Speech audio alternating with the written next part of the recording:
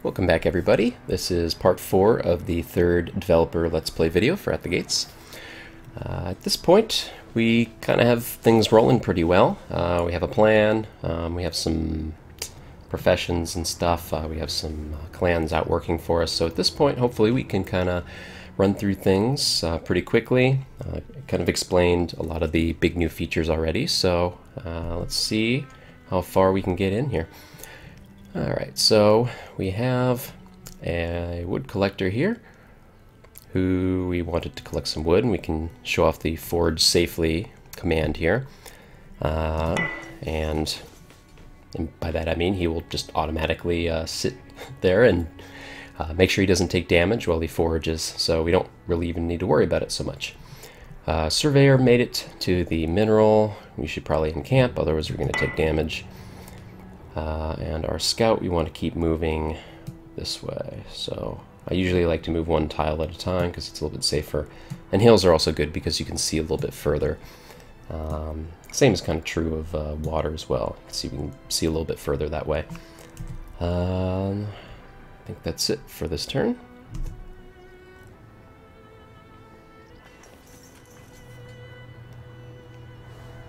Okay, so it looks like we've met another leader. We're just, we're in the middle of everything here. Hi, hi Samo. Uh, looks like Samo isn't uh, out for blood at least, uh, which is a nice change from uh, some of these other folks that we've met. Uh, on the first turn that you meet a leader, sometimes they have things that they want to talk about. Uh, like if you're right next to somebody like Attila, he's going to tell you to you know, stay on your side of the line. But uh, Samo's probably a little bit further away and uh, not as threatened by us, so it's kind of an optional greeting message. Um, something I'd played around with before was having uh, having there be something that would happen uh, when you first met somebody every time. Uh, I was even thinking about a little mini game where uh, you could bring a gift of some kind and the other leader could bring a gift of some kind or you could not do it at all. And then based on what you did that would kind of shape the diplomatic relationship. But it was almost you know it was just kind of like a guessing game. There wasn't really a ton of strategy to it. Um, so I decided to cut that and uh, focus on things that actually make sense like the territorial control. We'll also be adding other things like uh, if you have resources here like we have resources between us and Clovis uh, he might say hey you know stay away from those resources uh, you can do whatever else you want, just don't mess with those, and you can agree to do it or not. Uh, back to what we were doing. Let's see, so it's early February, which means it's going to get warm soon, but not quite yet, I don't think. Uh, and sometimes with a surveyor, I like to start uh, identifying a deposit a little bit early uh, in the winter in hopes of not uh, you know, getting a head start basically because you have that one turn grace period. So if you can guess when the weather's going to get nice a turn early, you get a free turn. But I don't think we're quite there. Plus we're on a hill, so it's eh, don't want to risk it. Not with our uh, vigorous clan. All right, our scout Alrim, he is needing to encamp as well. All right, so we can now train somebody, and we're not studying. So it's kind of a uh, a new turn or. Uh, kind of a new phase, I guess, uh, the game. We have to kind of decide what direction we want to go now. So we could use a bard to uh, increase the rate at which new clans will show up, increase the amount of fame. You can see on this button here uh, at the bottom it says seven turns. Uh, that's the number of turns until a new clan shows up. And it slows down as the game goes on, so you need to be producing more fame to reach out and, and get the word out about what you're up to. Uh, so a bard will help us do that, but bard requires alcohol, which we do not have yet. So that is not uh, particularly helpful at the moment. So we have a blacksmith already. Our iron mine will be ready in one turn. So Let's see, I think we were we were talking about doing a winemaker, but we don't have enough tools for that, so it's kind of a tough uh, situation at the moment. We're kind of ahead in some areas and behind in others. Uh, we could always buy some tools. Uh, I think I think I'm going to get started on our bard here because we can buy a little bit of alcohol, get him started, uh, and then uh, produce the uh, alcohol we need later. But that way we'll get it started and we can start bringing in some more people a little bit more quickly. All right, we have to decide what we want to study now because we've uh, just finished what we were working on. I forget, what were we working on? It's kind of handy. Oh, okay, so we just did finish Bards. All right. Let's see. So there's obviously a lot of options here. Uh, question is, what is the best for our present situation? Uh,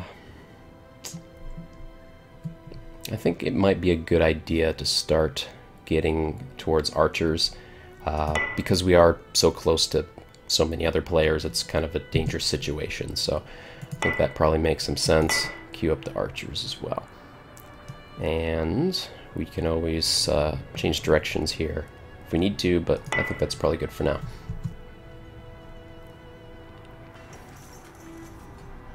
Okay, so now it's starting to get warmer again. Uh, you can tell by the, the receding snow. Clans are idle. Alright, this may be the point now where we want to uh, get a head start on our uh, identifying the deposit. It's hard. It's hard to say. I don't really want to risk it. I'm gonna. Eh, I'm gonna do it. I'm just gonna do it. Alright, keep moving along here. You can sneak around these mountains. Okay, we can give a clan some levels in honor. We already have a couple guys in honor already. Wow, Frieder is five. So we've gotten a couple uh, level fives in this game, which is kind of nice. Um, I think I'll give Eberhard the bonus, so they're both now pretty high level. We can train them in a uh, honor profession in one turn. Uh, all the all the early ones, like Archer, we can we can pull that off right away. Normally it takes at least a couple turns. Oh, shoot. Okay, so still red here, as you can see. So the red, that means we're going to take damage. Um, I'm just going to... I'm going to encamp instead. Okay, question is, we're kind of in a similar situation now, over here as well. Uh, I can do this at least. Hmm. Oh, shoot. Alright. Well, a little bit too much, it seems. So, uh, got unlucky there. Oh well, he'll take a little bit of damage, but it's not as big of a deal as it is with uh, um, our friend over there. Because they are vigorous, so that makes them very valuable in a lot of other ways. Okay, so our bard is finished. Um, says over here we need alcohol. Uh, we don't have any yet. Um, the caravan will show up next turn, though, so we can start using it then. And let's see, what would be the best thing to do at this point? So we already have one blacksmith online. Um, but we certainly could use more than that. Let's see. Is there an opportunity here to, to make that work? Four turns for everything. Hmm.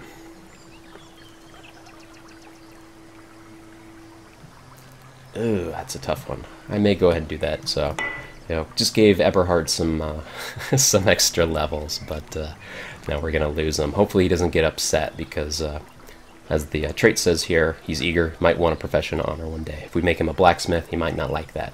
Uh, Frieder, on the other hand, expects a profession honor, so you get a big bonus to your levels. But if you put him in uh, a different profession, he's gonna get pretty upset. So you you gotta uh, take that take that into account. It's not a requirement, uh, but you do want to be mindful of it. So uh, we have a couple guys, so we don't need to worry about it too much. We have some flexibility. Okay, so get back to that again. All right, so this situation is a little bit tough. So the bandits are in our way there. Uh, I don't like that at all. I think I'm going to start heading back the way we came. So you can see uh, he's taking a little bit of damage here. Health is at 90%, morale 66. Uh, so you lose a lot of morale, which cuts down your, your power quite a bit. So our base power is 1, we're down to 0.6, and that's mainly because we've lost a bunch of morale. Next turn, that should recover, and then it'll our power will recover as well. Uh, but that damage is pretty much permanent. Uh, you can heal it by spending oil and cloth, but it's very, very expensive.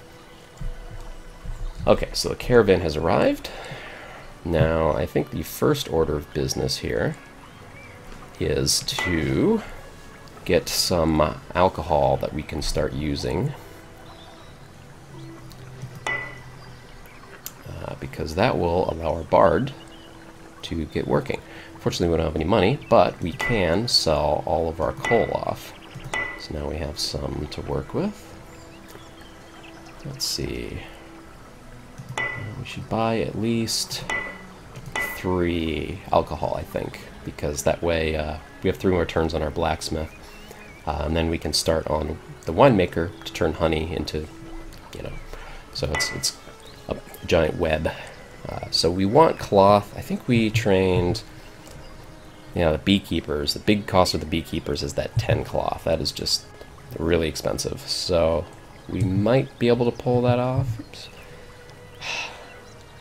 So 10 would cost 40. Hmm. Can we pull that off? Let's see. So we'll buy all the cloth we can now. Uh, we have a fair amount of timber over here. We could try to sell off some of our timber. So we need... Let's see. It costs 28. So we need 28. Whew. Can't even quite get there with that. You know, I think I'm gonna, I'm gonna, I'm gonna try to do that anyways. So we need three more. Should be able to get that from somewhere. Sell off more weapons. Iron. Could always sell off that parchment that we bought earlier. you know, I think I might do it. Oh, it it, it, it stings. It stings. Uh, but don't want to... We're going to need to buy some weapons here anyways, so I don't want to end up in that situation. So, alright. Just barely got it. Got the 10 cloth that we need. Um, it's always possible that the next caravan that shows up doesn't have any cloth, and then that would really suck because that uh, would basically end that uh, particular opportunity because uh, our our apiary is going to de degrade here before too long, and we want to maximize what we get out of it. Uh, the only problem, of course, is that uh, we're going to need somebody in agriculture. So, eh. We'll see how it goes. Okay, so we just finished archers. Uh, the question is kind of what we want to do next here. Uh, let's see. So it might be time for us to start thinking about uh, going up to the second tier of professions. So we have blacksmiths already. Toolsmiths uh, produce a lot more tools uh, from a lot more iron, so it saves you that clan. You can use that second blacksmith for something else instead, uh, which is certainly nice, but uh, 15 turns to, uh, to study that, so that's a pretty big deal. Uh, let's see. What would be the best way to go about that? I think that we have a good amount of food already, so um, maybe huntsman, spearman. Yeah. This is the uh, the part of the game where things slow down. I apologize. maybe maybe ale makers. You know, I think I'm going to do it because we have that vast field of barley here, and that if we can get that online, produce alcohol from that, we're going to be in in a really good spot. So uh, let's go ahead and get the ball rolling on that. 15 turns is a long time, but it'll probably be worth it. Okay, so now we can start uh, producing more clans here uh, more, more, quickly because we got that additional fame. You can see at the bottom of this tooltip uh, we're now getting plus 5 per turn, whereas before we were only getting plus 1, so pretty big increase there. Okay, so our wood collector is done here. Now, we're going to need somebody else to train as a farmer. Okay, so alert, alert, just showed up. And, hmm, you know, he's not in agriculture yet, but that's probably okay. Winemaker. Then uh, you should be an archer. Okay. Alright, so we can probably have him continue collecting wood for us. Probably just send him right here. Okay, so we're, uh, I think we've just about finished hunting these horses. It's just, yeah, one turn left. It's not very much. Uh, we can send our hunter up here to that herd of deer instead, though, so they can they can continue working. All right, our scout here. Uh, just probably send him through the forest, head back home. And that's it for this one. Food situation is getting slightly dicey here, uh, but we still have that supply of honey over over here. Okay, so we, we figured that one out. Man, everybody's just dancing. Should call this like Dance Dance Barbarians or something. Again, the uh, the artists are gonna are gonna hit me they ever watch this. This might be the last video I ever make, guys. Okay.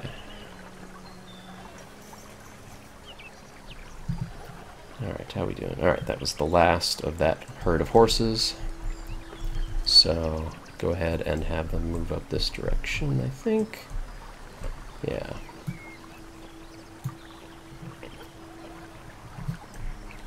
Oops, it's the wrong direction.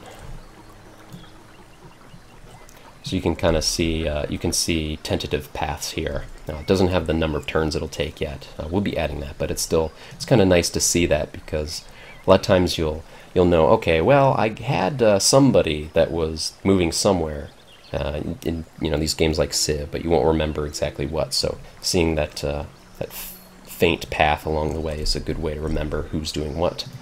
Uh, speaking of which, I think we can send our scout. Oh, okay. So it uh, it's assuming uh, so that the, the game, if you haven't seen a Atal yet, kind of uh, just assumes it's going to be passable. I don't think this is. I think it's probably going to be a solid mountain range all the way across. So I'm not going to follow that path. I'm going to kind of come around the other direction here. And uh, we'll send him on, on a path as well. Okay rebuilding our our timber supply here. So we have we have a lot of guys that are like scattered around doing random miscellaneous things. So we got this wood collector here. Uh, we have a hunter that's coming up this way. Uh, so at some point we'll probably want to consolidate those guys and get them working on something a little bit more efficient uh, because there's uh, what you, what you have your clans working on is really important. Okay, so running out of honey here, unfortunately. Our uh, or a beekeeper. Yeah, that's not what we wanted here. This is not winemaker. This is beekeep beekeeper. That probably makes sense with uh, oops, our bard. So I have to tell our bard to stop working. Uh, we don't have any alcohol anyways, but uh, you can see up here, 14 out of 14, we're at our limit. We need to spend cloth to fix that. Uh, need a lot of everything. I haven't I haven't played this game terribly well, in case you uh, were wondering or noticing that. Um, but trying to trying to go you know, decently speedy here and not uh, take too much time with everything I do. Play as I normally would. Okay, so our surveyor's done. We found some more iron. That's always nice. Go ahead and start on that plant. Might be something interesting. Okay. Got blacksmith, Glen Hilbrand. Bad at agriculture. Alright, well, you will definitely not be a beekeeper or a winemaker. Unfortunately. Alert! So this is where that uh, that parchment would have been handy, because we could have shaved a turn off uh, off of our beekeeper here. Um, which would be nice, because that's going to be an extra, what, you know, beekeeper does uh, plus four honeys. So that would be an extra four honey we would have. Um, you know, isn't the end of the world, but you always want to be as efficient as you can. Uh, speaking of which, we are out of alcohol. We need cloth to raise our uh, clan support limit. So we're kind of behind the eight ball a little bit here. Ugh. Okay. So I'm not sure there's anything new that we need to do this turn. We're still at our clan limit. Everybody's still kind of working away here. How many turns we have left on this? 11 turns of timber are left. Uh, and then maybe we can build a, a mine here to get, uh, or a quarry to start getting this stone. That, that will come in handy. We can we can uh, do a few things with that. You can build advanced structures out of it in the late game. We're not quite there yet. Uh, you can use the stone to train like bread makers, for example. Uh, you can turn the stone into stone blocks, uh, and then that can be a big bonus that way. You can also train like uh, coal makers here uh, with the same with stone blocks.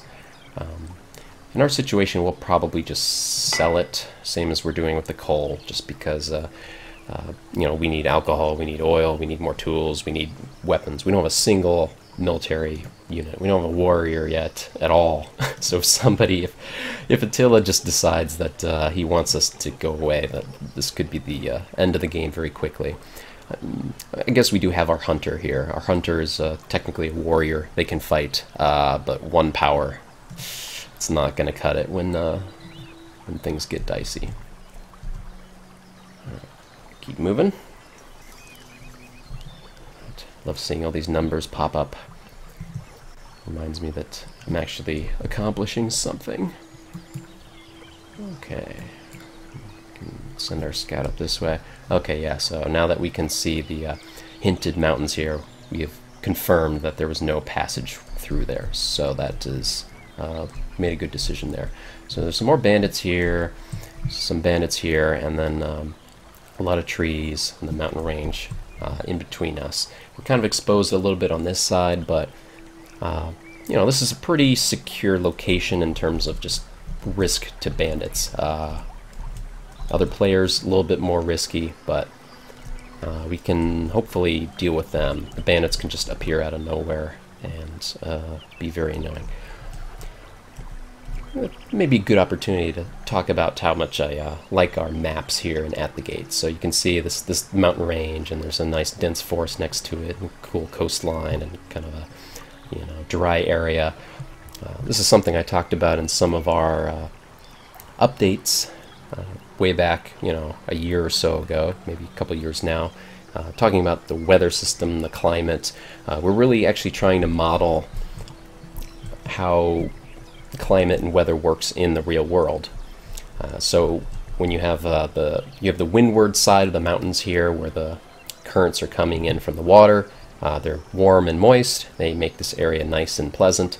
Then they hit the mountains, uh, and then they stop. And then on the other side, you have the leeward side, where there's just you know dry desert. So you can you can see that in a lot of places in the United States, in South America, uh, parts of Europe.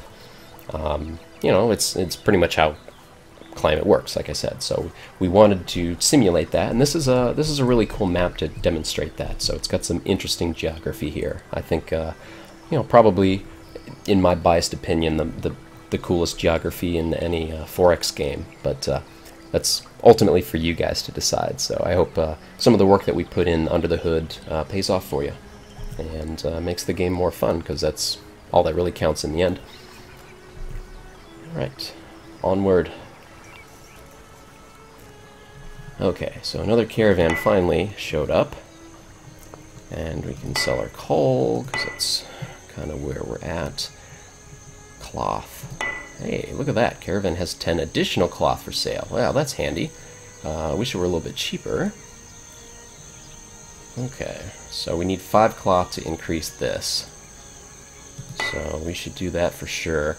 Uh, we have a good timber reserve again because uh, we have that logging camp up in addition to the wood collector. So we're we're just rolling, we're rolling with timber, uh, and we can get some additional cloth. We need two more. And then we'll have the five we need. Excellent, so we can spend that right away. Boom! 20. Alright. So, unfortunately, our Bard is still offline because we don't have any alcohol to keep them uh, occupied, I guess. Uh, probably saw off some more timber here. So alcohol. Um, and we're probably at least four more turns away from getting our own supply of alcohol online. So we should probably get a fair bit of that. Let's see. Can we sell all our timber? Is there anything we're building in the near future? I don't think so. I, I think I'm just going to sell all the timber here as well. A lot of times uh, you'll be using that timber for other things. Like if uh, that stone deposit was next door, then we would have built a quarry on it already and we wouldn't needed 30 timber for that. Um, but we don't, so we won't worry about it. Okay, so 5 alcohol, that will allow us to get our bard working again. Excellent. And you can see here, two turns until the next clan. That is very handy. Hopefully they will be in agriculture. Okay, alert as beekeepers. And then we probably also need some weapons. Do we have enough money to pull that off, or are we just are we exhausted? I think that's probably about it. Yeah. Okay. So we have a good amount of tools now, but weapons will have to wait. Hopefully, doesn't cost us. Okay, you've identified field barley. More barley. Look at that. Okay. So our surveyor is done looking at everything over here. Uh, we can go up that way if we want to die. So instead we'll go over to this mineral instead. And I don't think our scout is going to find anything. Ugh. Oh boy, more bandits near our iron mine too. Okay. And our, our soon to be awesome source of barley. Oh, and more. Okay. Uh, yeah, maybe we should get the ball rolling on the weapons. Okay, our wood collector here. Uh, I think I might send him even further down this way just because uh, he can reach that this turn and get started again next turn. Okay. Our score is up to 48. Yes, we're winning.